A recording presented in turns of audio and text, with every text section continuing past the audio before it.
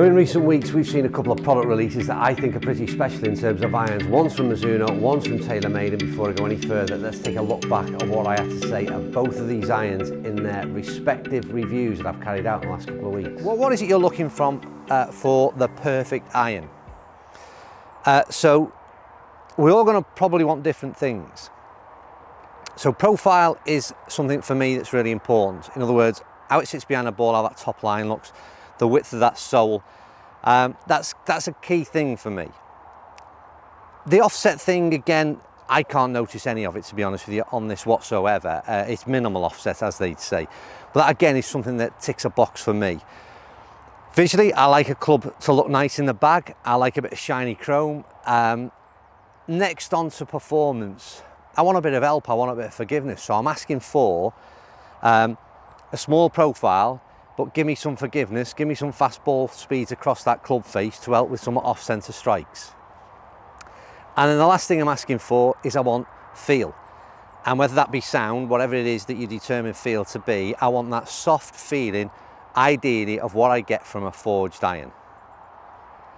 Now for me, honestly, TaylorMade in this P790 set have ticked every one of those boxes. Who knows? Oh. Okay, first ball, so let's not say too much. Oh my word.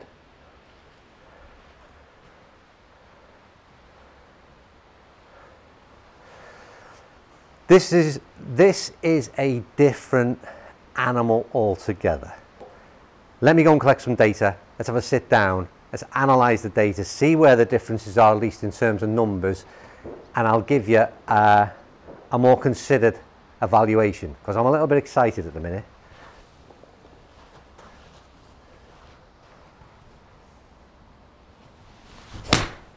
Oh my word.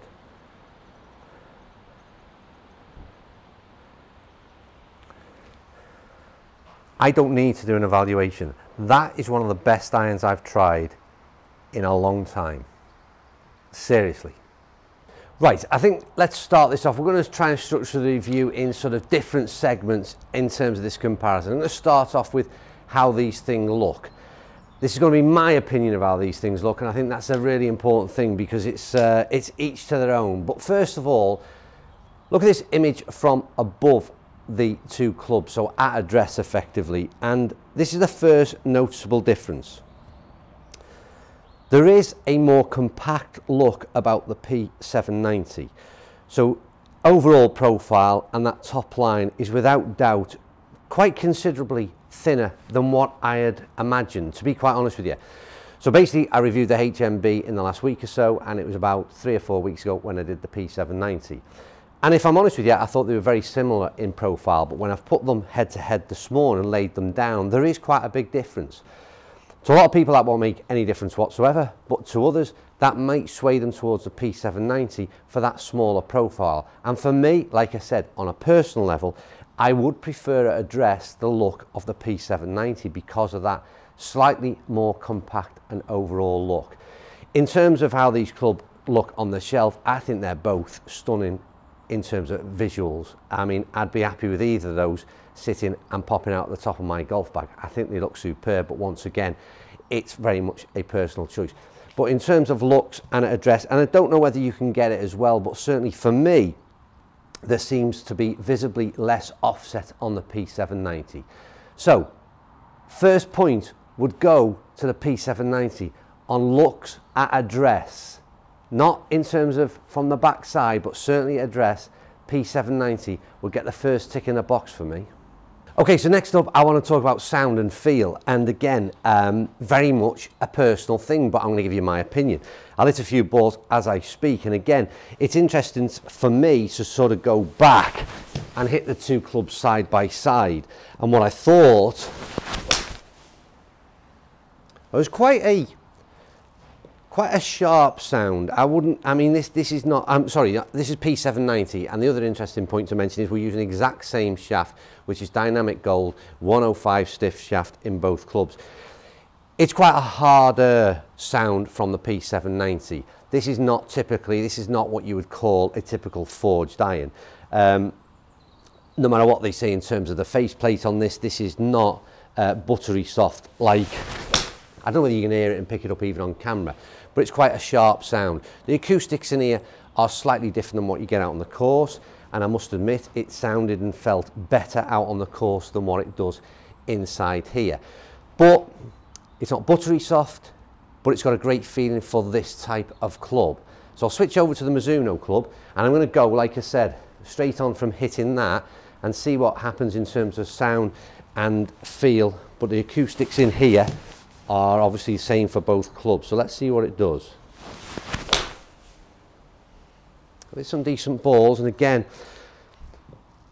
these again, I mean, comparing it to the MP20 Pure Blade, they're nowhere near as soft. It's not a softer feeling. It's a great feeling, but it's not pure like the um, like the Blade. Again, really nice shots. Happy with the ball striking there. I'll hit one more with the uh, with the HMB.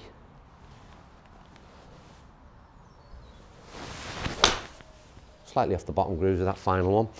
So, in terms of preference, in terms of feel, I think for me, Mizuno have achieved a better feel and a better sound, marginally. But again, if you was to pin me down and pick which one I would choose in terms of the best sound and feel, I'd give it to the HMB, and that's a tick in the box for Mizuno. That's one all. Right, so next piece is about price, and the price comparison is a real interesting one, and I think this is where there's a big margin, and it will be interesting to see how this sort of sways people in terms of their buying decisions moving forward. Uh, rough guide market price, looking between a few uh, different suppliers and what we're looking at here at Forgol, around 145 a club on the P790. Um, on their HMB, and again, it's been much publicised, I've read a lot of comments about it, 180 a club. Uh, so we're talking about Great British Pounds here. That's a considerable difference. And I think it's one of the shocking things that came out of the review, uh, or the launch rather, from Mizuno was just how much they'd hiked these prices up.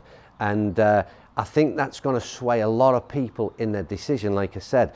So for me, quite obviously, P790 gets a massive tick in the box in terms of very much favourable in terms of uh, in terms of if you're looking at price point, then that's a huge, huge difference. Right, next on, it's the versatility in terms of being able to, what kind of set can you build? Doesn't make a lot of sense that, does it? But what the Mizuno line has done in terms of this MP20 range is they've allowed a bit more flexibility and to be able to blend sets, combine sets. So you could, in effect, get a mix of all three of these in terms of the MP20 blade, the MMC and into the HMB. But I think there's a great option to blend in terms of visuals for me is to do this sort of MP20 HMB in the longer irons and maybe from 8 iron down you'd go into the standard blade and I think the ability to mess around with the lofts a little bit you could get a nice set blended together that works really really well. That option isn't available in the P790s. But what I will say in both sets, um, the other th point to mention, I've not seen the shorter irons in the HMB. And I know it's a progressive profile in terms of it's going to change shape and get a little bit more thinner top line, but I haven't seen it to hand. I have seen it in the P790. I've had the 9 iron uh, in hand, and I can tell you that again, there's a great difference in terms of what they've changed in terms of the shaping and profile when they get to the shorter irons. Um, but like I said, I can't say the same of the, of the uh, HM because I've not seen it physically in hand. But for me, I think that I'd probably give another tick in the box to the Mizuno option because of that versatility and because of that ability to combine the set and make something very much specific that would suit your eye. Now, so far, all the opinions have been pretty much, I think, uh, could be argued a personal opinion. So, your uh, opinion on price, your opinion on looks, your, your personal opinion on looks and feel is very much down to the individual. But what we can't get away from, and ultimately what we want to have a look at, is how do these clubs perform in the hands of the average golfer. So, switch over to some seed golf balls and get testing with some TrackMan and get some numbers. And that was the thing that I did next. Um, I got to say, I mean, first off, I, I think it's fair to say that on both occasions when I tested these clubs on an individual basis, I hit the ball really, really well. I wasn't hitting the ball as well as I had done on previous testing, but again, That's the where I come from. That's the view and the opinion of the average golfer. There are variables. But anyway, here's the numbers up on screen for you now. I'm going to start off. So we tried to sort of uh, gain uh, 10 shots on each. I think we went 11 on one of them. Um, but first set of numbers up is that of the Mizuno. Now, pretty much um, what we achieved last week, achieved a slightly higher spin number, but uh, ball speed's 121, very good, 6,500 spin on the 7 iron. Again, don't forget there's a difference in lofts on these two clubs, which I've not mentioned as yet. 168.9 carry, launching 18.4, peak height at 103. This ball definitely gets very high and up there, and a land angle of 49.4 degrees. Um, like I said, nothing too different from what I achieved uh, on the previous test that I carried out. So over to the numbers, same shaft, don't forget, but we've got different lofts here. So we've got 34 degrees as a, sorry, 32 degrees as opposed to 30 degrees now that you're going to see on the P790. So here's the numbers on the P790. So, like I said, a little bit stronger in terms of loft. 122.4 ball speed 6000 spin 120 172.5 carry.